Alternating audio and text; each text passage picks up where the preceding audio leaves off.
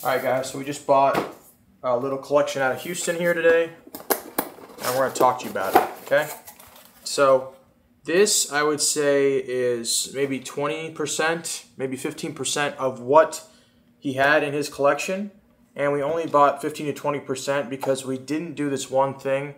And we're going to talk about it. We're going to make a little bit of a debate. What's the right thing and the wrong thing to do from your perspective? So make sure to comment and let's talk a little bit about this collection some more.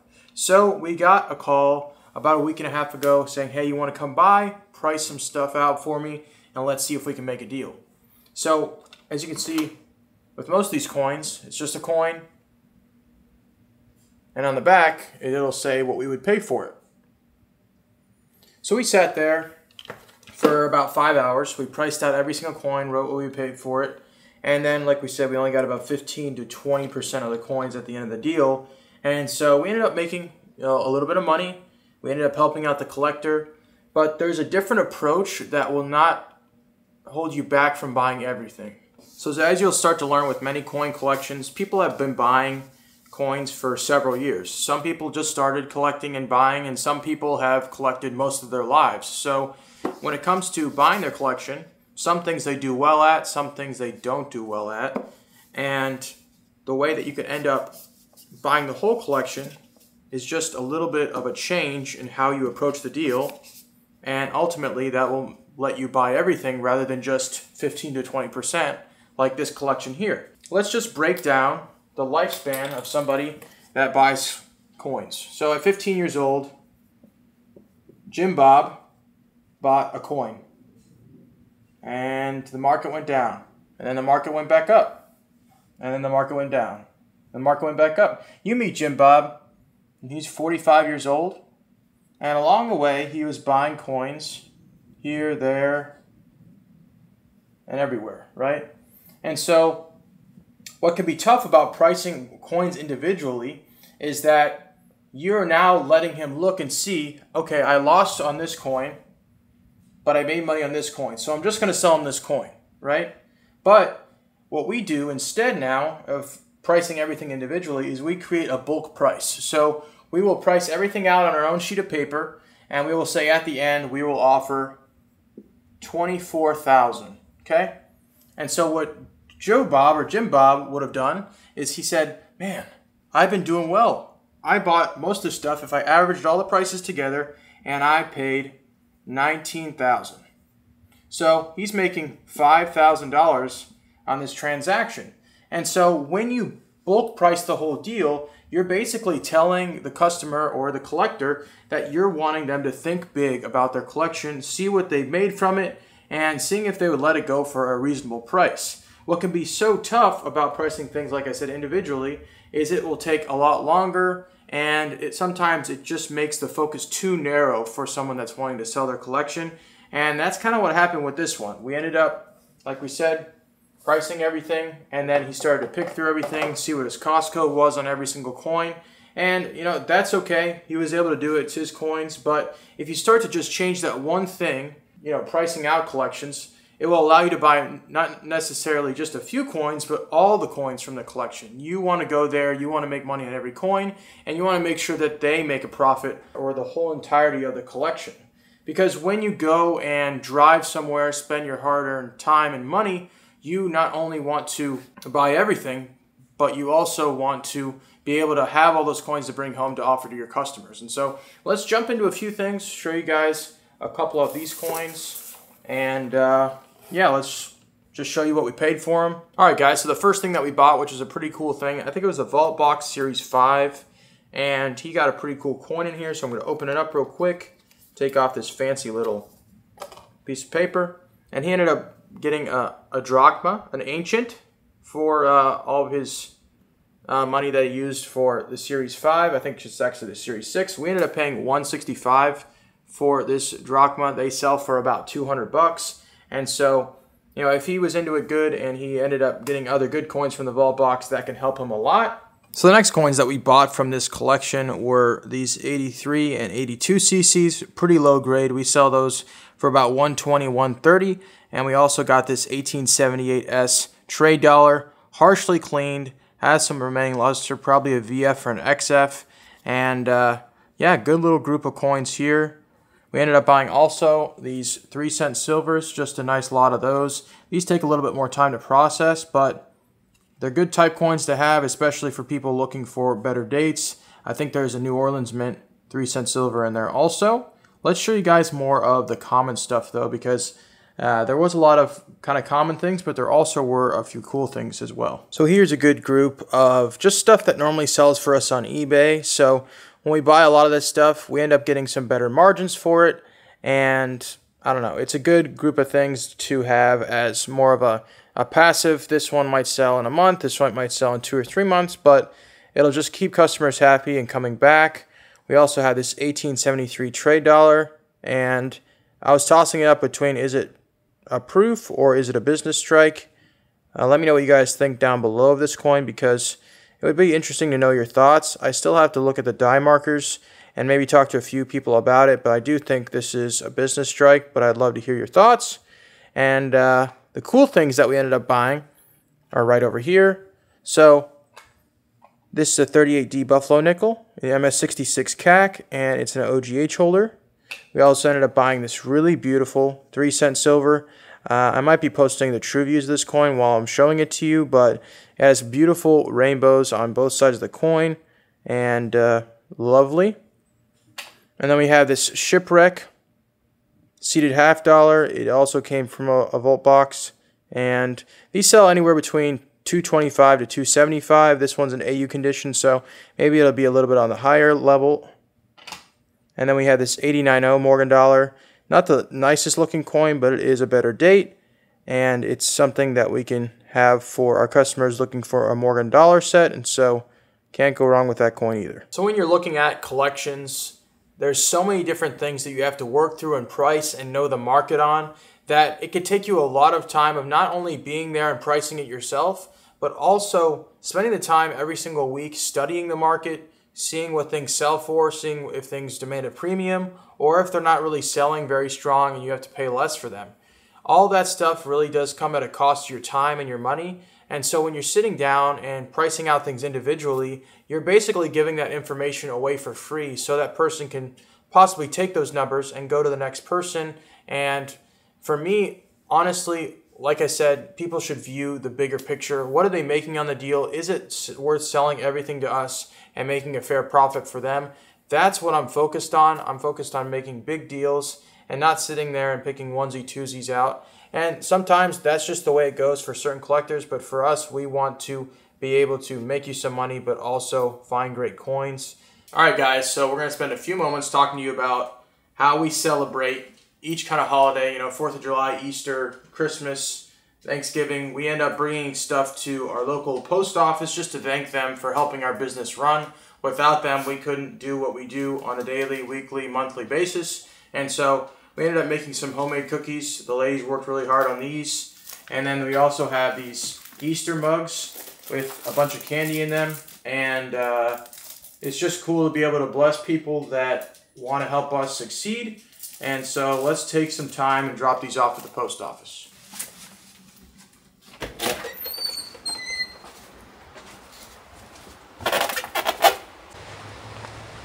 Okay, let's go.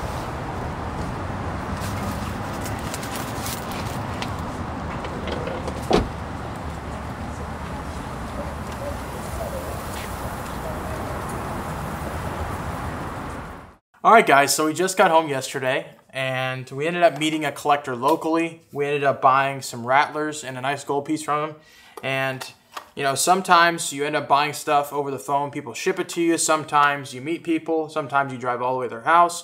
It really all depends on where people at, how fast they need to be paid, how they need to be paid, and their mobility. You know, when we were with a collector earlier this week, he says, I don't really drive, so it'd be great if you can come out to my house. I know it takes some extra time and effort, but we ended up doing that for him. So we have some better looking rattlers. One of my favorites is this 1879S Morgan dollar.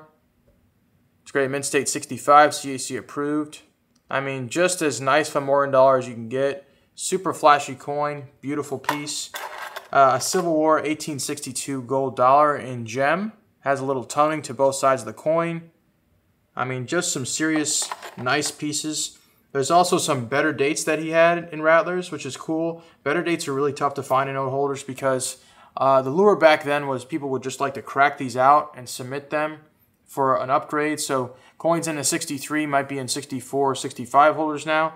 But I think this one is just accurately graded as it is. This is an 1890 CC Morgan dollar in 63.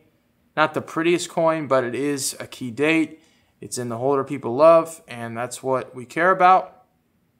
And another cool piece is this 1899 Morgan dollar in 63 PL. Another tough coin to find in proof like, um, and it also is in that collectible holder. So we ended up buying some other cool stuff from some other collectors. If you want to pan down, Casey, we got just a bunch of old holders from other people that we know. We also got some type coins. So nice 95 Barber half. Just laying them all out. It's just incredible what you're able to buy when you have connections that you work with. And we pay pretty strong for almost every coin that we that we pick up. Here's some pretty cool peace dollars if you want to back up real quick, real quick, Casey. Two 1925 peace dollars, MS66 plus. Both are nice coins and a more common date, but very lovely. Um, the Barber half, like I was talking about, nice luster to the coin. People love the holder. This is just an old holder video, it feels like. We ended up selling some CAC approved Cleveland commemorative halves recently, so we ended up buying two more that are CAC approved. One in an old NGC thick holder with some nice toning, and one just a flashy looking coin in a rattler. You have to check out that Cleveland. That's in that's a little bit of toning on the website, AcoushaCollectibles.com, because I thought it was pretty cool when I got it in. We also bought some more generic gold that's graded. So these are 220 francs, I believe. I think they're like the melt value is like 410, something like that. They sell for about 500 bucks and we just said, "Hey, you know, we want to be probably at about 400 bucks. Sell these for 450, make our profit and just cool pieces of history from France." And the last one I want to show you, people love these as well. 1875S, 20 cent piece. We got this from a subscriber and we ended up trading him a coin and he gave us some cash as well. And so if you guys are ever interested in maybe offering us some coins or at least hearing out what we would pay for certain things, make sure to reach out to me, 832-538-4122, or write us on the website or email us at Collectibles at gmail.com, and we'll write you back as soon as possible. However you want to meet us, however you want to ship things to us, we're happy to work with you. So, nice group of coins. Thanks for following along with us. Make sure to leave a like on this video. All right, Casey, what kind of coins did we get in today? What do we get in? Uh, we got a very successful CAC submission. Um, we ended up sending off that proof cameo Morgan dollar. So let's uh, get into the submission and see how we did. Uh, see if we scored or if uh, we got disappointed again. All right, guys. So the first coin I want to show you is this 1893S that we submitted for a friend. We felt that the coin wasn't original enough to get a sticker, but he said he wanted to submit it anyway, and just to see what happens because we, you know, we get it wrong sometimes, but for this one, we were pretty sure that it wouldn't have passed, and it didn't. So the next coin we want to talk about is a coin that we sent for another friend. He actually wants to try to get a gold CAC on a Franklin. This one was a proof 66. Nice cameo look to the coin. It only came back with a green sticker, which is unfortunate. And uh, just a lovely piece, but you win some, you lose some. You're not losing a whole lot trying that out. Here's an 1874 two and a half uh, dollar gold lib. It's a better date. It's AU50, has some nice remaining luster, and it didn't sticker. Not too sure why. Don't see any distracting spots or cleaning that would be uh, too much of an issue for this coin, and uh, they just didn't like it. Next coin is a really cool 1916 mercury dime with beautiful toning on both sides of the coin. It's good to have you know mercury dimes with some toning, but with a better date like this, like this 1916, we sure were very happy to get a sticker on this coin because I don't know, adds a little premium to it, and I wanted to see what CAC said. I felt the coin was at least a 65 in terms of grade, but that's okay. So we have this 1882 seated quarter, kind of hard to pick up on. I felt it was mostly original, and they didn't sticker it. Had plenty of the shield left for a fine, but there is like a small nick in the field, very hard to pick up on with this camera. Maybe they just saw that as some sort of minor damage and they didn't want to sticker it. Then we have our first gold CAC of the submission, 1884 Morgan Dollar, graded Mint State 63. Of course, this one looks undergraded. Look how nice the cheek is, problem-free fields. And we ended up getting this and ended up buying it from a guy who allowed us to submit these for him. And so, just a beautiful, beautiful Morgan Dollar. So happy that one gold stickered. Then we have this 1943 Mercury Dime, Blast White, super flashy coin. And uh, I think the reason why this one didn't gold sticker is just because there's some minor spotting. If you kind of look down and try to try to focus on it, it's a little bit tough, but there's two little spots on its face. Maybe that's something that they kind of picked up on and didn't like, and that's the reason why this coin didn't sticker, gold sticker. I felt like it was undergraded personally. The next coin is this 1884 Morgan dollar.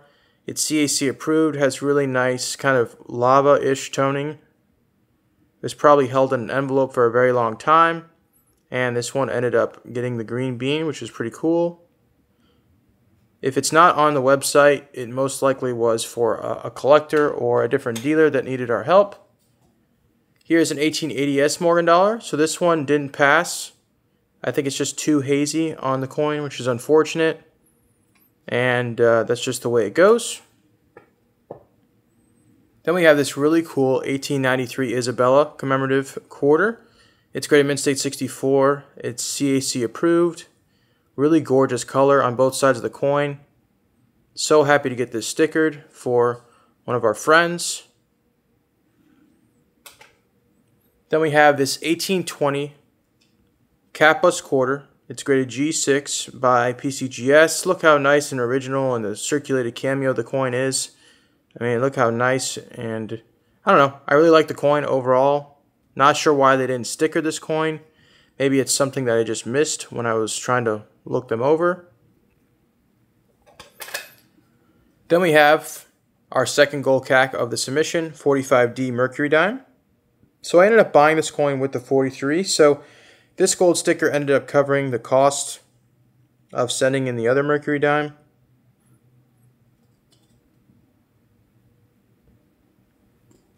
Just a nice undergraded little coin there. Then we have this 1972D Ike dollar, graded Mint State 67. Just a lot of chalky hits in the fields. Like, I don't know how to grade Ikes properly, but I think CAC just said, hey, maybe they overgraded this coin just a little bit.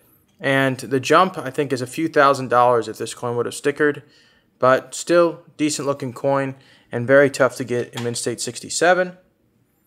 Then we have another Rattler Morgan Dollar, some iridescent toning on the obverse, CAC approved, and uh, nice luster, nice grade, nice holder, can't go wrong.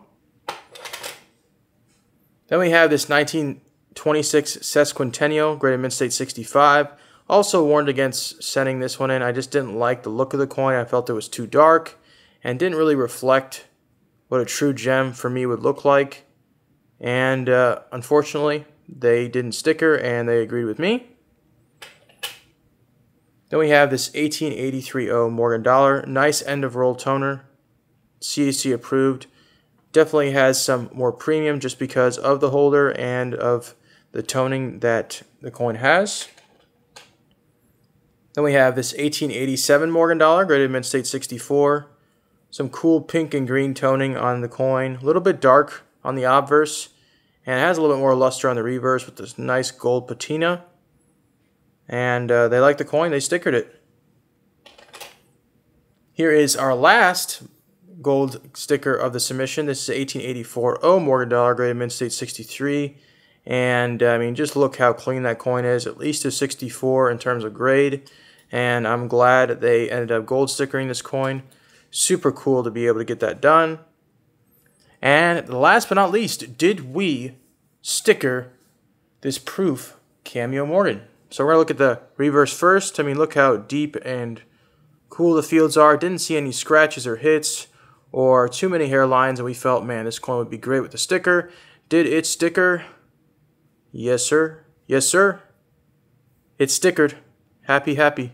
But thank you guys for taking a look at this CAC submission. We hope you guys enjoyed it. Hey guys, thank you for watching today's video. We hope you enjoyed it. Please check out our website for all those new purchases. Uh, we look forward to seeing you in future adventures, and we'll see you in the next video.